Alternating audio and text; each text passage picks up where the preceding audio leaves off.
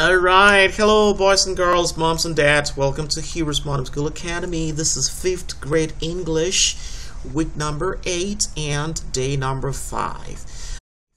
Uh, today's class and lesson is going to be about listening and verbal training. As always, on day number 5, that's what we do in this curriculum. And the whole idea is to give you an opportunity to practice how to be a good listener and potentially be a good speaker as well because lots of times if you are a good listener you are going to be a good speaker as well. Now what do we do? How do we do that? Well the way we are going to do that is to observe is to observe punctuation marks in sentences. So you are going to see a punctuation mark over here called semicolon. You are going to see another one over here which is a comma. You are going to see another one over here which is a period now those punctuation marks are there for a reason. The, the reason they are there is to show the listener or let the listener know that I am in the middle of my sentence or maybe I'm done with my sentence right now. And if I'm in the middle of my sentence, please do not interrupt. You know, you want to wait, take your turns to say whatever you want to say.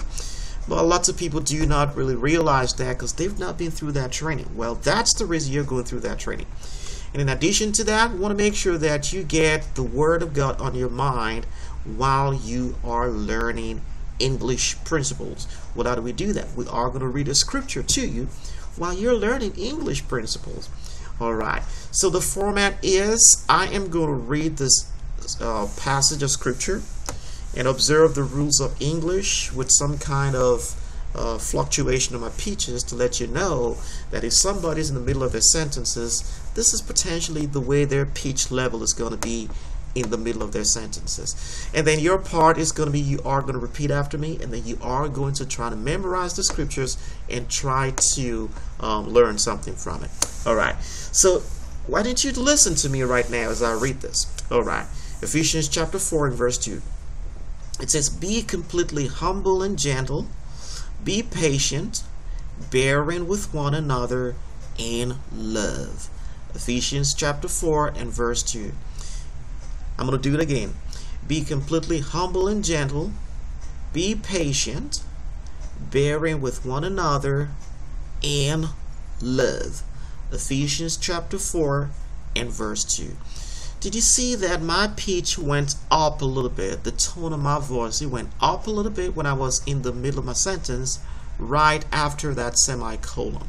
And then right after, the comma, the same thing happened.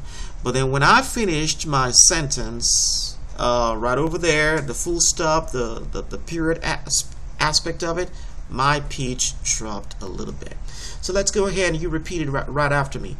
Be completely humble and gentle be patient, bearing with one another in love.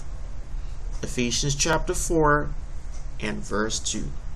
All right, one more time. Let's do it together. Be completely humble and gentle. Be patient, bearing with one another in love. Ephesians chapter 4 and verse 2. All right. So did you see how that worked out together? So when people hear your tone is raised up a little bit, they're going to say, well, is is still in the middle of a sentence. Let's not interrupt just yet. And when your tone drops, that's when they are going to make their point. In that way, if you practice this way, you're going to be a good listener and potentially you are going to be a good speaker as well. All right.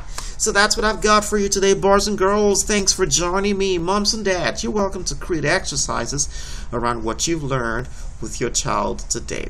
Until next time, remember God cares about you, and so do we.